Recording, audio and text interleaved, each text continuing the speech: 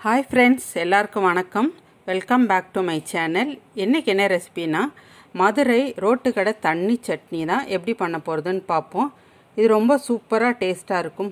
இந்த சட்னி இட்லி பஜ்ஜி உளுத்த வடை இதுக்கெல்லாம் ரொம்ப சூப்பராக இருக்கும் காம்பினேஷனு இதுக்கு தேவையான பொருட்கள் என்னென்ன இது எப்படி செய்யலாம் அப்படின்னு வீடியோக்குள்ளே போய் பார்க்கலாம் வாங்க.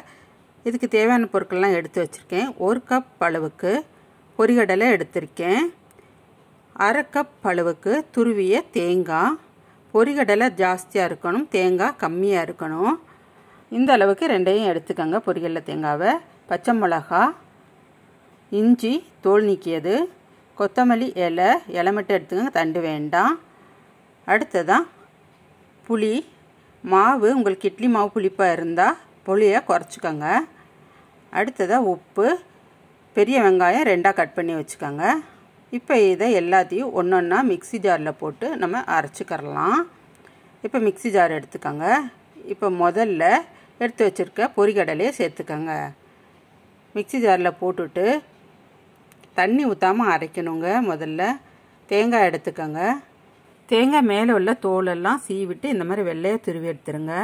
அதையும் போட்டுவிட்டேன் அடுத்ததாக தேவைக்கு ஏற்ற மாதிரி பச்சை மிளகா காரத்துக்கு ஏற்ற மாதிரி போட்டுக்கோங்க. இஞ்சி சீவினது பெரிய வெங்காயம் நறுக்கினது புளி கொஞ்சமாக போட்டுக்கோங்க. அடுத்ததாக கொத்தமல்லி இலை சேர்த்துக்கோங்க. இது கூடவே தேவையான அளவுக்கு உப்பும் சேர்த்துக்கோங்க. முதல்ல தண்ணி ஊற்றாமல் கொஞ்சம் குறகுறப்பாக அரைச்சிக்கோங்க. இந்த அளவுக்கு. இப்போ நம்ம தண்ணியை சேர்த்துக்கிறலாம். சேர்த்துட்டு மறுபடியும் அரைச்சி எடுத்துக்கோங்க. ரொம்ப நைஸாக அரைக்கக்கூடாது இந்த பதத்துக்கு இருக்கணும். சட்னி. இந்த அளவு தான் இருக்கணும் இட்லிக்கு. காரம் உப்பு புளிப்பெல்லாம் சரியாக இருக்கான்னு பார்த்துக்கோங்க இதை இப்போ வேறு பாத்திரத்துக்கு நம்ம ஊற்றிக்கலாம் இதை ஊற்றிட்டு நம்ம மிக்சி அலசின தண்ணி இதோட மிக்ஸ் பண்ணிக்கலாம் தேவைப்பட்டால் இப்போ இதுக்கு ஒரு தாளிப்பு கொடுத்துடலாம். நான் ஒரு பேனில் எண்ணெய் ஊற்றி சூடாக்கி வச்சுருக்கேன். இதில் கடுகு சேர்த்துக்கோங்க. ஒரு அரை ஸ்பூன் அளவுக்கு. கடுகு நல்லா வெடிக்கணும் இல்லாட்டினா கசப்பெடுக்கும். கடுகு அடுத்ததாக உளுந்து சேர்த்துக்கோங்க அரை ஸ்பூன் அளவுக்கு. அது பொன்னிறமாக மாறணும். அடுத்ததாக காஞ்ச மிளகா விதையெல்லாம் எடுத்துட்டு ஒன்று கிள்ளி போட்டுக்கோங்க. கருவேப்பிலையும் சேர்த்துக்கோங்க. இதை நல்லா மிக்ஸ் பண்ணி விட்ருங்க எல்லாம் பொரியணும். நல்லா கரண்டியை வச்சுட்டு மிக்ஸ் பண்ணி விட்டுருங்க. இப்போ இதை சட்னியில் ஊற்றிடலாம் தாளிப்பை.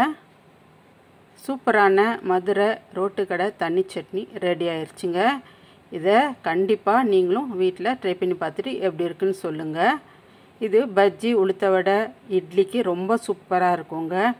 அவசியம் இதை ட்ரை பண்ணுங்கள் இந்த சட்னி மட்டும் போதுங்க. வேறு சாம்பார் கார சட்னி எதுவுமே இதுக்கு தேவை இருக்காது. அவ்வளோ சூப்பராக இருக்கும். இந்த மாதிரி நல்ல பஞ்சு போல் இட்லியை எடுத்துக்கோங்க. எடுத்துட்டு இங்கே பாருங்கள் சூப்பராக இருக்குது இதே இந்த சட்னியில் நல்லா டிப் பண்ணி சாப்பிட்டு பாருங்கள் அவ்வளோ சூப்பராக இருக்குங்க அந்த டேஸ்ட்டு அவ்வளோ அருமையாக இருக்கும் அந்த சட்னி. இந்த வீடியோ உங்களுக்கு பிடிச்சிருந்துச்சுன்னா லைக் பண்ணுங்கள் ஷேர் பண்ணுங்கள் கமெண்ட் பண்ணுங்கள் தேங்க்யூ